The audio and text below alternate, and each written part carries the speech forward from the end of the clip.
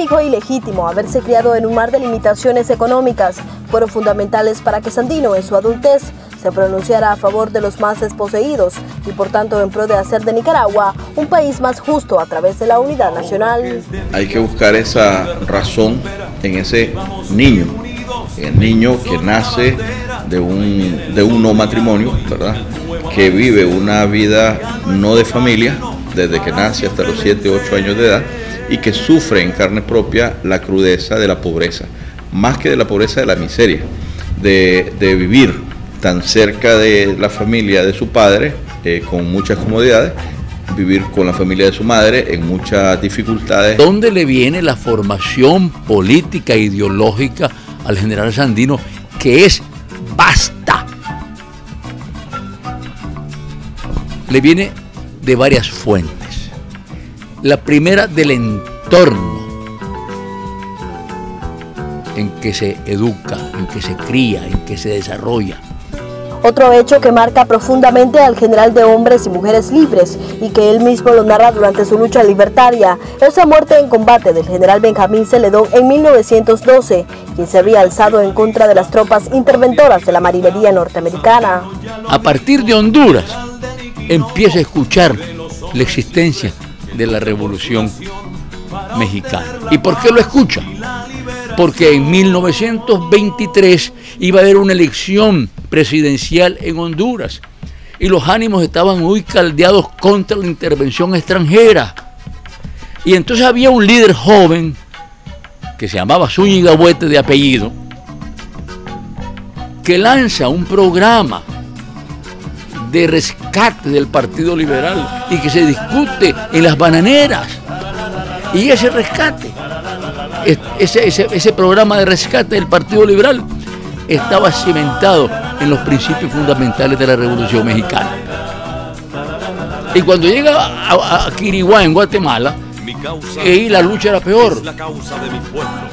como peor en el sentido de mayor estímulo para viajar a México porque la lucha la llevaba adelante el Partido Comunista. Y el Partido Comunista estaba en contra de la, de la persecución de los obreros porque había participado en la caída de Estrada Cabrera. Eso lo estimula aún más para continuar su viaje.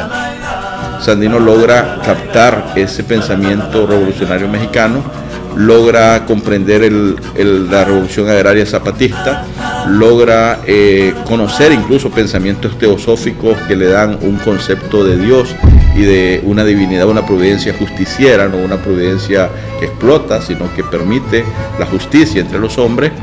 Y todo ese es el, bagaje que Sandino capta en, en su viaje a México, en su estadía en México, en esa juventud, sin separarse de Nicaragua, porque mantiene comunicación con Nicaragua, y trabajando en una compañía petrolera eh, administrada por los yanques, él siente en carne viva el desprecio de los yanques hacia los latinoamericanos y muy especialmente hacia los mexicanos, eh, con los cuales él está trabajando ahí como un obrero más. Entonces eso explica Sandino, o sea, toda su formación de vida. Ah, no es un hombre que va a la universidad a aprender la teoría revolucionaria de Carlos Marx, sino que es un hombre que vive la teoría revolucionaria de los pobres que por necesidad se plantean el cambio el cambio radical y identifica a los Estados Unidos como causa de los males de América Latina, no solo de Nicaragua ni de México, sino de toda América Latina. Cuando en 1926 inicia la guerra constitucionalista en Nicaragua, Sandino no duda en retornar a su patria. Primero se siente identificado con los liberales, quienes se enfrentaron a los usurpadores conservadores.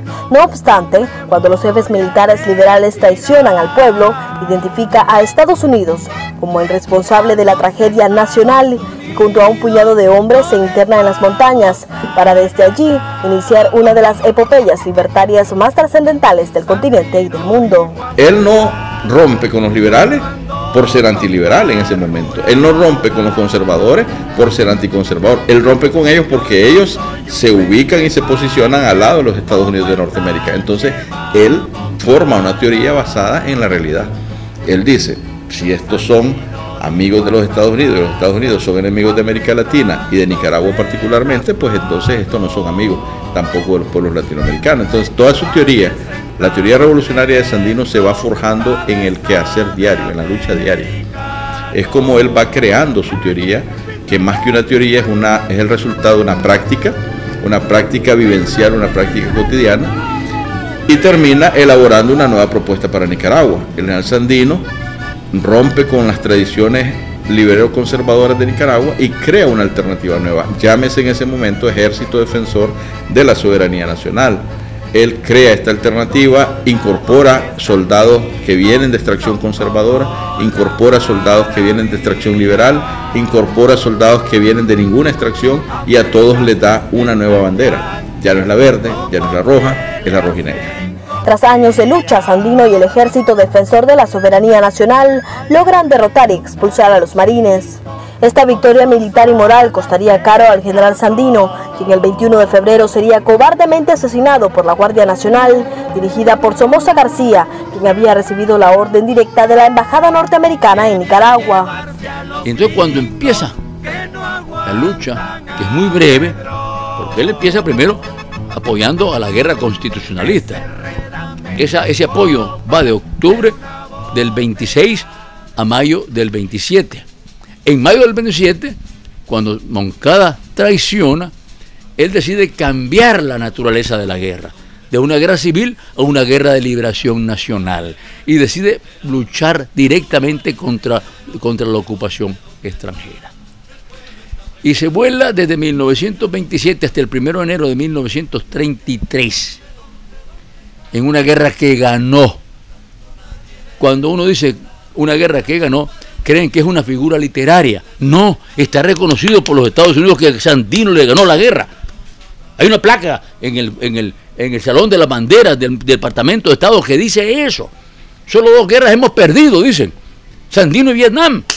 Sandino legó al pueblo y al mundo un pensamiento políticamente y revolucionariamente elevado. Testigo de ello son sus documentos escritos, que hoy conforman parte de su ideario político. Cuando uno lee los documentos de Sandino, se queda admirado, admirado de lo que ese hombre sabía, en términos de geopolítica, en términos de ideología, en términos de política propiamente dicho, en términos de región latinoamericana y caribeña, en términos de Centroamérica, en términos del mundo. A pesar de ello, tras su asesinato el 21 de febrero de 1934, Sandino fue vilipendiado dentro de Nicaragua, mientras que en el exterior fue prácticamente olvidado.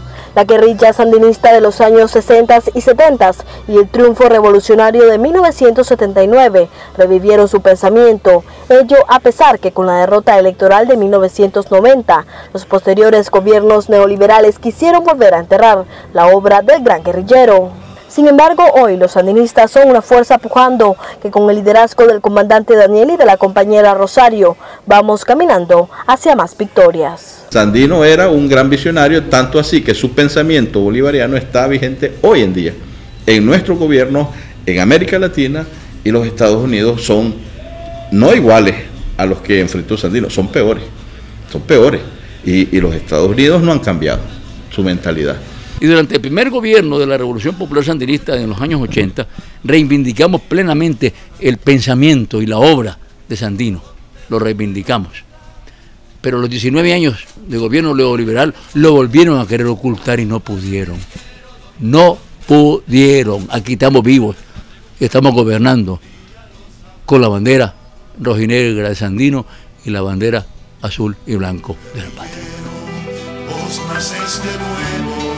en la carabina.